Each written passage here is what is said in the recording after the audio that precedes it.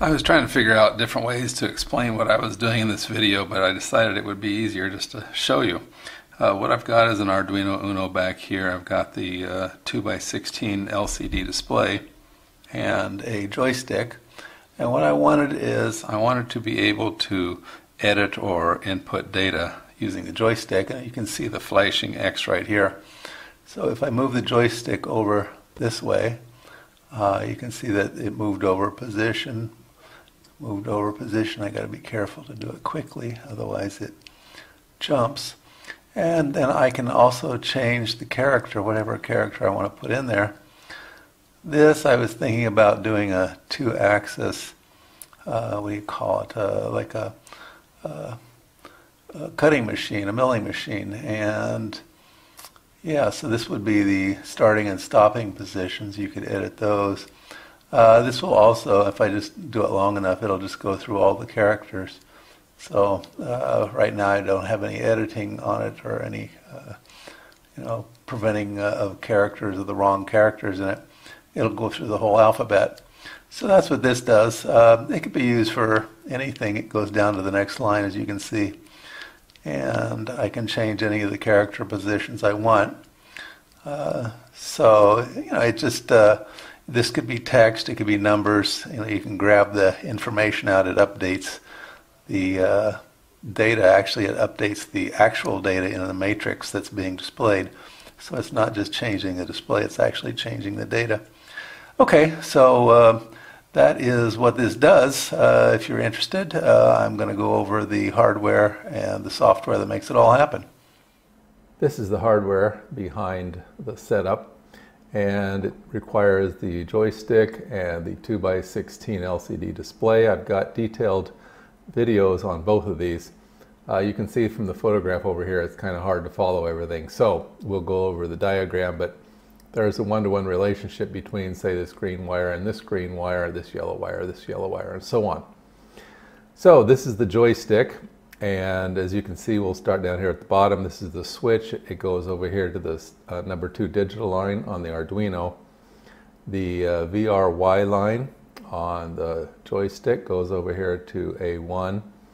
And then the RX line goes over here to the A0. And there's that comment and that comment. I'm using the 3 volt line. I don't show it going all the way over here for clarity's sake, but I connect it to the to the 3.3 here, and then the ground goes to the ground over here.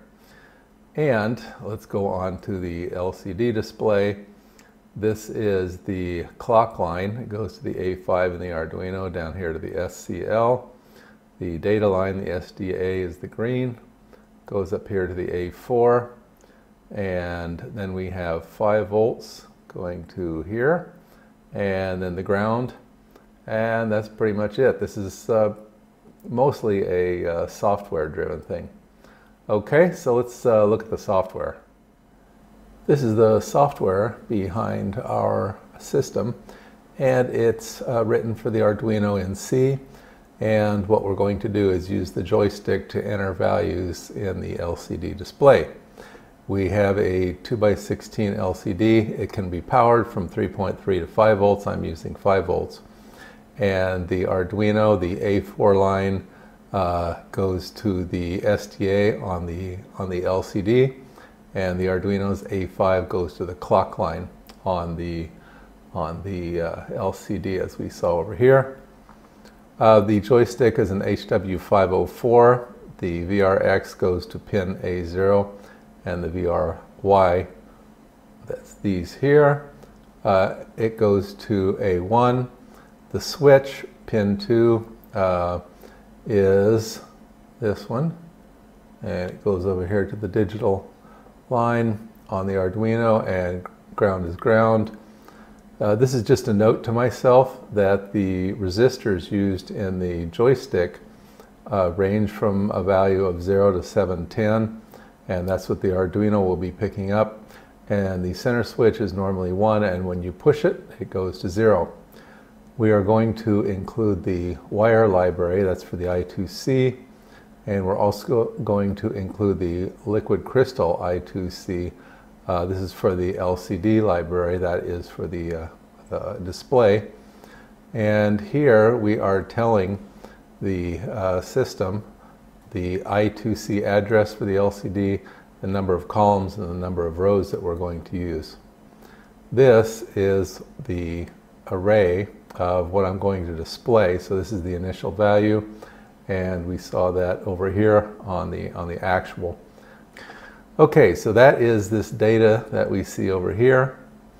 And then below that we have the VRX value. So this is to tell us that it's pin A0, the analog pin, and VRY is 1, so that's the Arduino A1 pin. The switch pin, that is the center, that's when you push down on that in the center. That is digital pin 2, which is right there. And what else do we have? LCD pause 32. So this is the position within this array that we are stepping through when we uh, when we push the uh, joystick. It will step us through uh, this way, and that keeps that value. And then the Boolean flip. This allows me to blink the cursor on and off. So if I want to select this character and cause it to flash, as we saw in the demo, that's, that's uh, what this value is for. Okay, let's go down and look at the setup program. This is the setup routine that is required by Arduino. The first thing we do is we're going to initialize the LCD and then we're going to turn on the backlight here. We are going to set the switch pin for the center push, so that's here. And we're going to define that as an input and then we are going to initialize that to a value high so that when we push it, it will actually go low. The next routine is a clear routine, and that allows me to, to uh, blank out one of the two lines at a time. And in this, in this program, I actually don't use it. I kept it in here because if I expand this uh, to do other things, then yeah, I'm going to want that. This is the check joystick routine.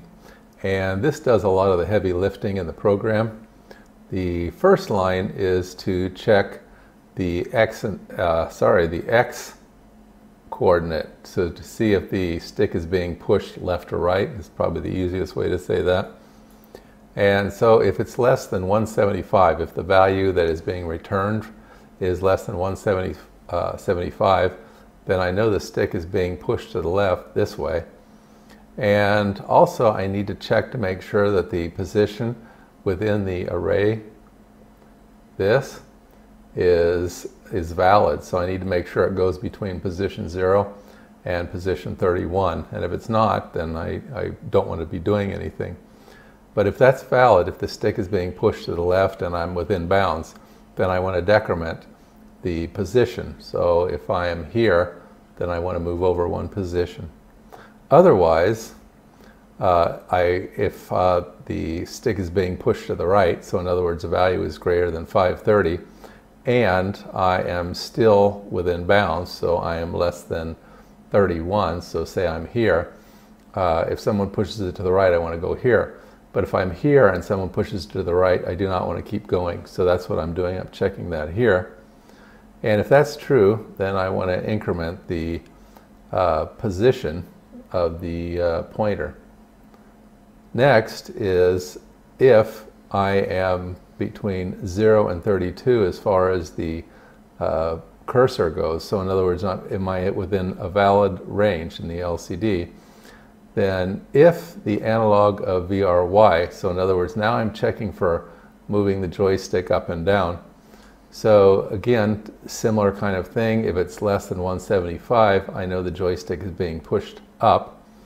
And again, I need to make sure that I've got a valid character within this position. So I'm not asking if I have a, if I'm in a valid position this way, like I did up here, I'm actually asking, is this character somewhere between ASCII 32 and 127? So is this a valid printable character? If that's the case, then I want to increment the ASCII value of the character in that position so x, if I'm pushing up, it would become y. Otherwise, if the value returned is 530, or greater than 530, I should say, then I know that the stick is being pushed down. And same type of thing, I need to check to see if the character is valid. And if the character is valid within that range, then I, what I want to do is I want to decrement the character. So if uh, this is C, then I would want to go to B, for example.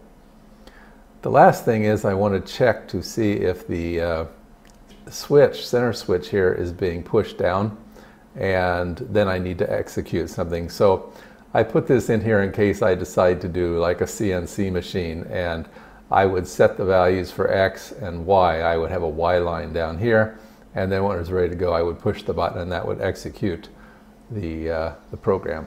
Okay, moving down.